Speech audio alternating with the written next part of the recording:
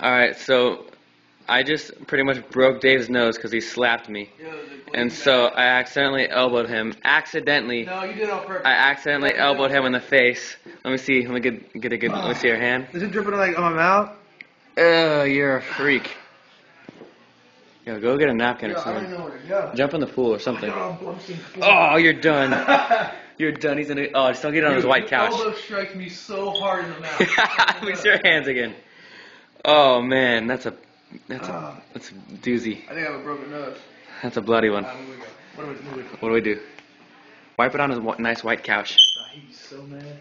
Oh, it's on his table too. Oh man, that's disgusting. Does it just look bad? It's all smeared on your face. Let me see up your nose. This is embarrassing. No, I, I don't No, know. uh, that might be. I don't want people to see my. my Just, just relax. Flare your nostrils. no, it's embarrassing. I look like an elephant.